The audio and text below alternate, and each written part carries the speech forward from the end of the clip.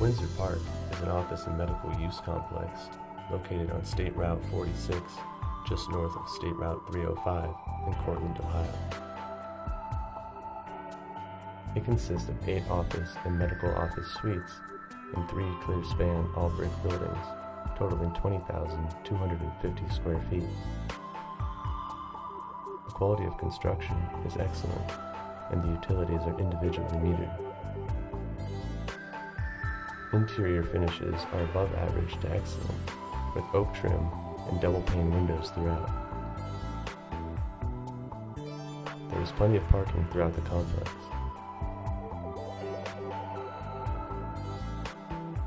Middlefield Bank and 717 Credit Union have chosen Windsor Park as their Cortland home and have recently constructed state-of-the-art facilities.